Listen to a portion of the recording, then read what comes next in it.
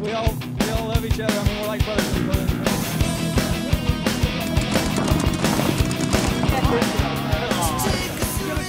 What's up? I'm here with Owen from WDP. We're gonna check out the new A4 Angel. It's gonna blow up on the scene. All new improvements.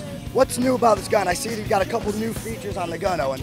Well, right, I mean, starting at the top, we've got a uh, twist lock gated feed, um, which uh, seals on some O-rings there, just so it gives a nice tight fit on the hopper. Well, you notice these wheels here. Um, that's vernier trigger adjustment. The front wheel controls the, the, uh, the travel back before the switch is activated, and the rear wheel is, is the trigger stop.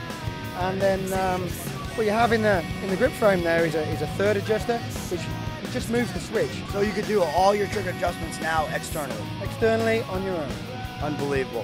What what else is I I see the gauge. That's another new feature. Yeah, low pressure gauge. Uh, it's mounted on the back of the uh, of the flash tank uh, because we don't want it we don't want it taking hits. It looks like you cut a lot of weight off the, the Feel the A4. weight of that. Feel that. Wow. What is it what is it running at? It's 2.25 pounds. It's the lightest Angel ever.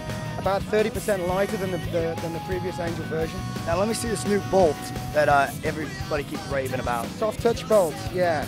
Ultra fragile or brittle paintballs.